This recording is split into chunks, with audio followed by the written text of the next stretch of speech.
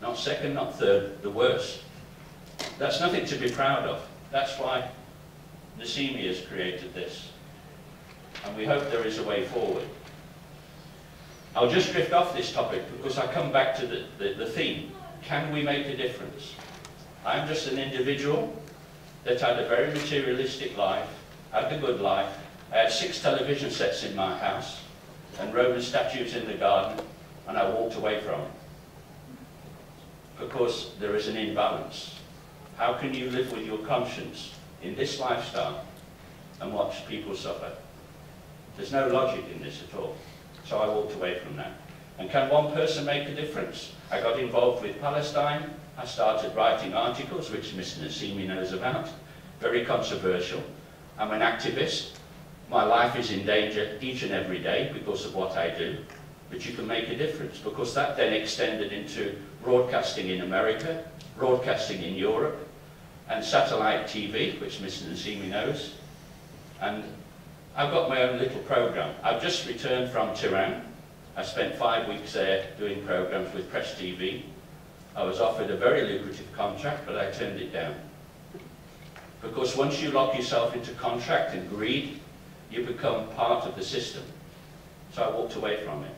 Because being independent makes you answerable to no one.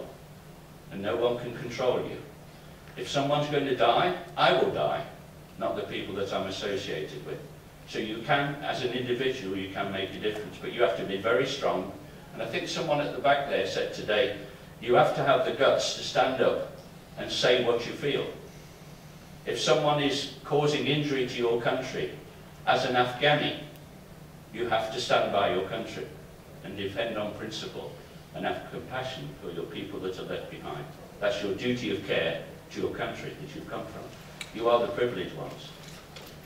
Okay, human rights notes the government's progress on promoting freedom of expression in recent years is still deteriorating. There is a certain amount of media freedom, but there's still censorship. So it's not quite true that you can say what you want to say in Afghanistan. There is a, what we say offset um, harassment, which you won't see, but it does exist. Uh, when we come up to the current time, Amnesty International said that Afghan people continue to suffer with widespread human rights violations and violations of international humanitarian law over the last seven years in particular. The Taliban still are prevalent, and I will come on to the educational side in a minute. Women and girls continue to face widespread discrimination, domestic violence, and abduction and rape by armed individuals. They continue to be trafficked, traded uh, as a trade-off for disputes and debts. Can you imagine parting with your daughter and your wife to settle a debt? Can you ever imagine that in England? It's not going to happen. But you know, you've come from Afghanistan, you know the situation. And from the male perspective, we should be embarrassed as individuals to put down females in this way. Doesn't matter what's your religion and what's your faith. You do not have the right to put women below you. All people are equal. And women add beauty to the world. If you're, in, if you're a man and you're in a company and there's no women, the room will be very drab. There'll be no colours. Everything is black and white. You put a woman in there and you bring colour and you bring love. So a woman has, plays a major part. And having spent two years in southern India, I realized that despite the poverty, it was the women of the village that held the village together. Absolutely incredible. The man would come back absolutely off his head with alcohol and would be straight in there and put him in order. And if he's not good man, he'd be kicked out of the house for 24 hours or 48 hours. And if necessary, tip him in the river. Let him swim when he's drunk if he's lucky. Okay. Legal developments is, is also a big issue. Uh, there is an issue, of course, like uh, the government uh, passed some laws concerning women in March regarding Shia women, personal status law, which can, contains several discriminatory provisions against Shia women, was passed. The law was amended in July following criticism by Afghan women groups and the international community. Some discriminatory provisions still remain. In August, the Elimination of Violence Against Women, women's law was passed by the Afghan president and the cabinet. The law criminalised violence against women, including domestic violence, and this was approved in Parliament. I say again, what is written and what takes place are two different things. You write an article, and then next week you abuse it. What is the point in having the law if you don't maintain it?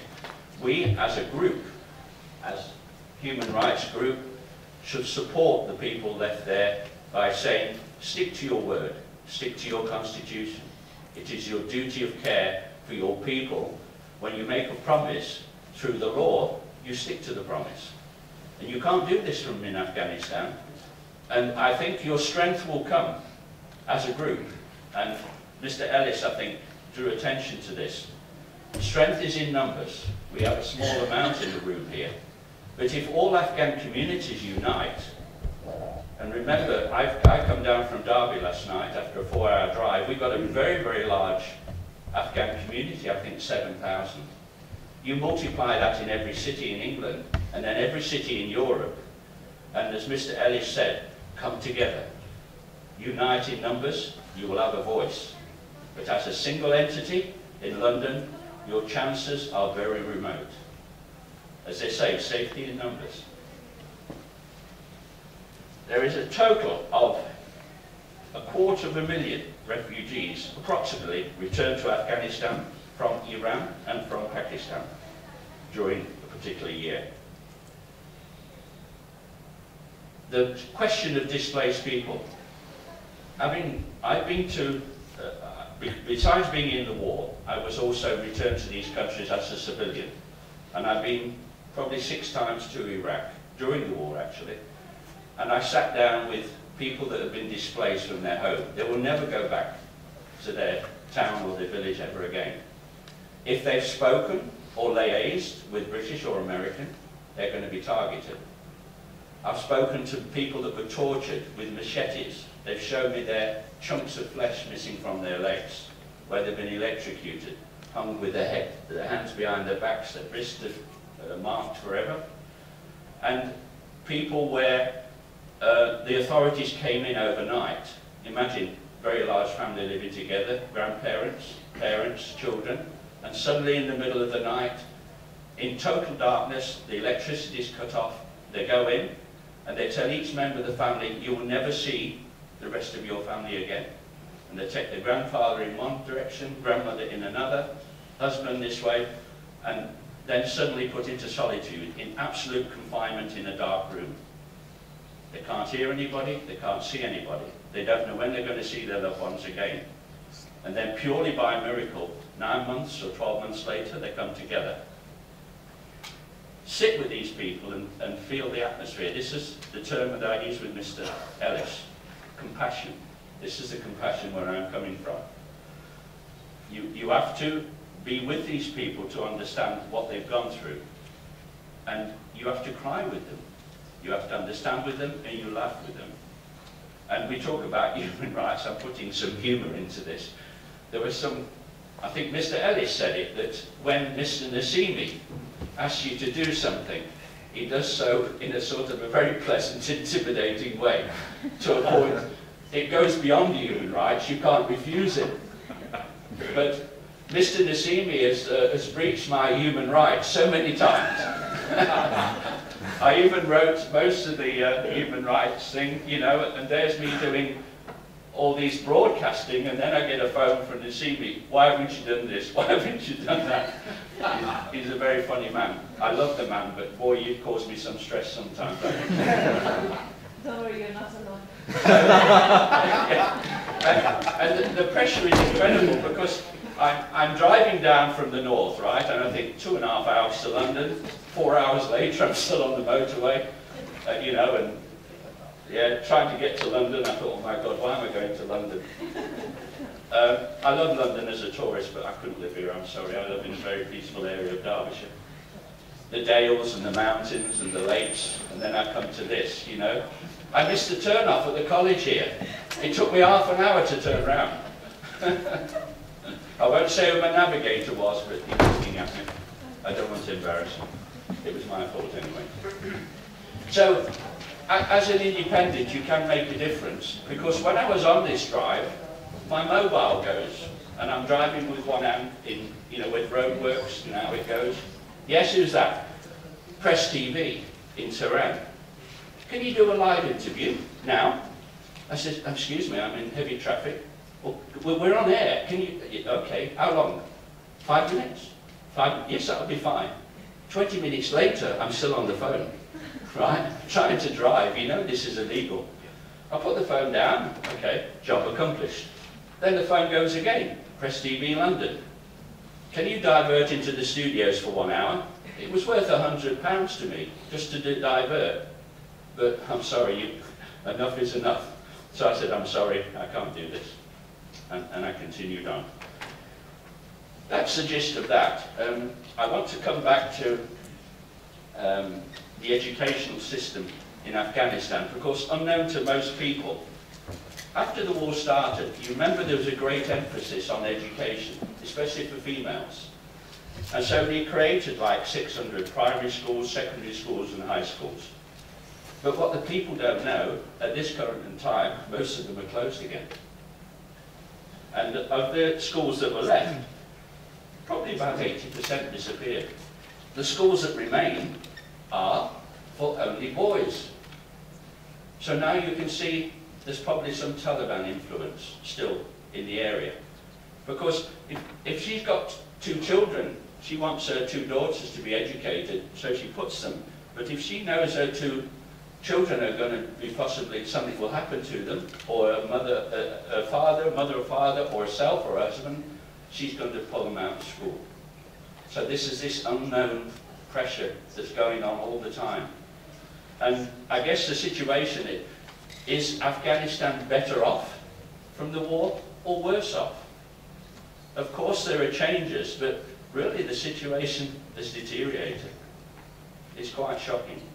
You can't blame nature, you can't blame anyone for this. It's just war creates a problem. And uh, I guess you've all got your own opinion on that. So you can see there's a massive, massive reduction in the schools. Uh, the worst affected areas actually is Helmand province. Only 54 schools, primarily for boys, are functioning against 220, uh, 223 schools that existed in the same area. So it's gone down from 223 to 54. Is that democracy? Is that progress? It's, it's certainly not progress. Um, then you have the Afghan children's story. Years of conflict have increased the level of poverty in Afghanistan. The US Development Index rates Afghanistan 169 in the list of 174. So you can't get any worse than that. You're almost at the maximum level of poverty in every word. How, can you, how do you feel as an Afghan to know that those that are left behind are in a no-win situation at the moment? Mr. Nasimi has said this many times when I first met him on TV. Do you remember this meeting we had? And uh, he was complaining about the lack of infrastructure, the lack of development, the lack of jobs. Remember that, day? I met him for the first time. And he indicated his, uh, his uh, he was an ethnic minority, you know, there's several groups. And I pointed a finger at him, do you remember this? And I said, there are people around that don't care about you and your race. Because the ultimate goal is.